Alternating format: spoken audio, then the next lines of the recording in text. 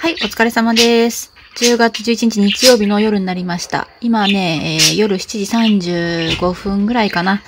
今日ね、なんかチキンのトマト煮らしいです。で上にバジル、うちで採れたバジルですね。で、それから、とろけるチーズがね、乗ってて、まあなんて言うんだろう。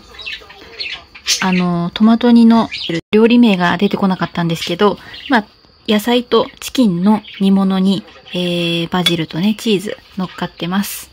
で、これと、今日はね、白米だけなんですよ。で、まあ、足りなかったらね、また後で何か食べます。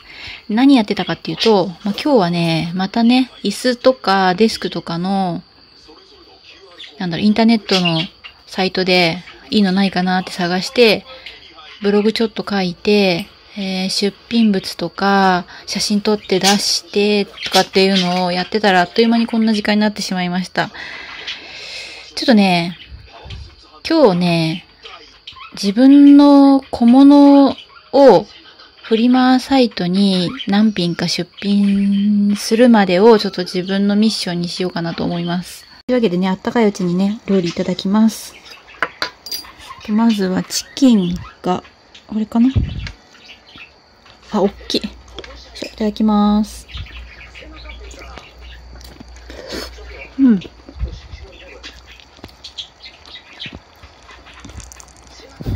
えっと、片手で撮影しててすいません。うん。